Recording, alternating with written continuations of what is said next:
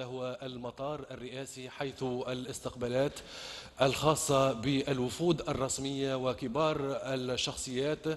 السيد رئيس الجمهورية قيس سعيد في استقبال. فخامة الرئيس غزالي عثماني هنا بمطار لعوينة بالمطار الرئاسي في بداية استقبالات الوفود المشاركة والتي أبت إلا أن تشارك تونس في فرحتها وفي هذا المجمع الاقتصادي وهذا المحفل الاقتصادي الكبير هنا على أرض تونس وهذا الجسر الممتد بين اليابان وبين القارة الإفريقية وبين تونس بطبيعة الحال. هذا ما يقتضيه العرف وهذا ما تقتضيه النواميس الدبلوماسية والاستقبالات رئيس الجمهورية في استقبال ضيفه المبجل السيد غزالي عثماني رئيس جمهورية جزر القمر. طبعا في استقبال رسمي بحضور كبار الشخصيات من وفدي البلدين. حديث ولقاء واستقبال يعني في مستوى ضيوف تونس وفي مستوى ما خصوه لتونس من اهتمام ومن تقدير ومن تبجيل بحضورهم على أرضها للمشاركة في مؤتمر تيكاد ثمانية. حفل وموكب استقبال بارز ويليق بقيمة الضيوف وبقيمة الرؤساء بطبيعة الحال أكثر من خمسين دولة. ستشارك بوفود رسمية من أعلى مستوى في مؤتمر تيكاد الذي تحتضنه البلاد يومي السابع والعشرين والثامن والعشرين من هذا الشهر. هي حفاوة الاستقبال مشاهدينا الكرام وهو كرم الضيافة الذي تقتضيه مثل هذه التظاهرات وتقتضيه أيضا العلاقات الثنائية المتميزة التي تجمع تونس بالدول الإفريقية الشقيقة والصديقة وبمختلف ضيوفها وبدولة اليابان التي بادرت بتنظيم هذا اللقاء الهام وهذا المؤتمر الدولي الكبير الذي استعدت استعدت تونس له كما يجب على جميع المستويات. العاصمة عاصمة جزر القمر العاصمة موروني وعدد سكانها حوالي 900 ألف نسمة.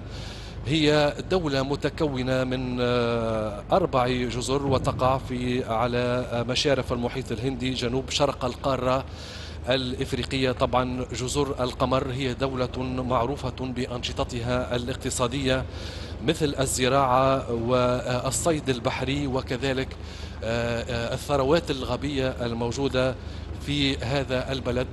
جزر القمر من بين الدول التي تحقق نموا مضطردا نهز 2.2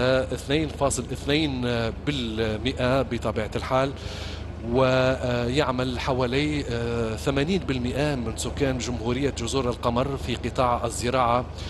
وهذا القطاع يساهم بنحو 50% من إجمالي الناتج المحلي ومن أبرز طبعا المنتجات الزراعية المصدرة من جزر القمر. القرنفل وزهرة البلانج وجوز الهند وهي زراعات نوعية في هذا البلد.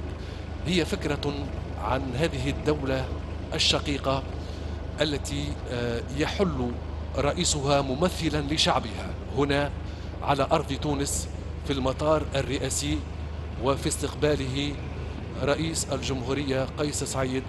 وطبعا في استقبال رسمي يليق بضيف تونس وبضيوف تونس الذين سيحلون تباعا هنا في المطار الرئاسي للمشاركة في هذه الندوة الدولية الهامة تيكاد ثمانية.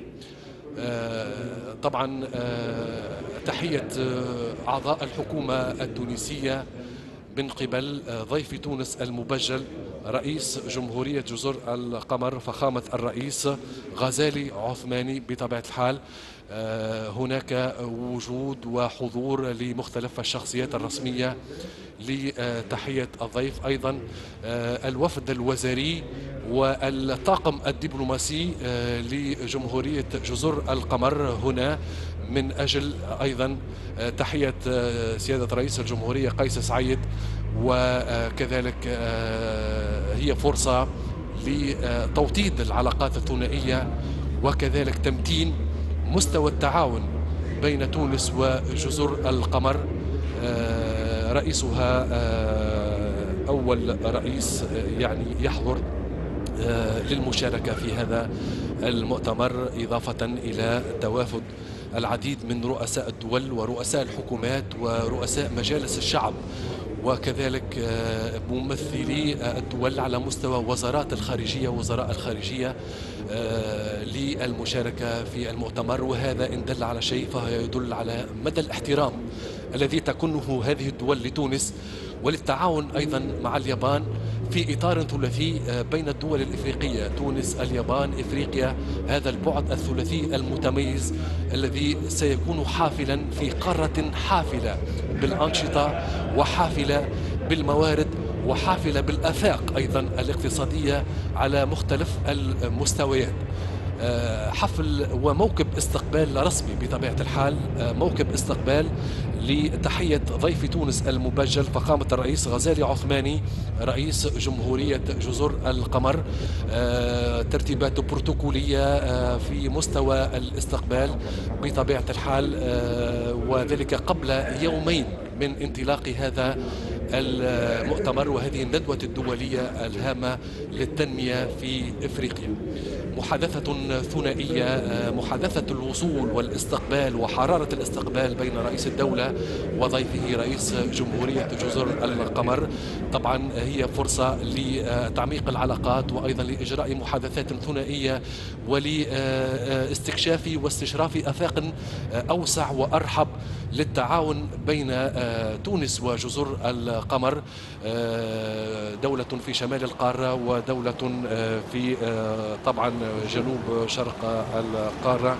آه، هذا هو الجسر هذا هو التواصل وهذا هو اللقاء بين الدول في القارة الإفريقية من شمالها إلى جنوبها من شرقها إلى غربها من أجل آه، تمتين أسس الشراكة وهو العنوان الرئيسي لمؤتمر تيكاد ثمانية. إذا هذه آه هذا رحاب مطار آه العوينة الرئاسي بطبيعة الحال. والآن الدخول إلى القاعة الشرفية للمطار الرئاسي. وسيادة رئيس الجمهورية قيس سعيد وضيفه الرئيس غزالي عثماني فخامة رئيس جمهورية جزر القمر الآن في جلسة ثنائية بحضور وفدي البلدين ومواصلة المحادثات وموكب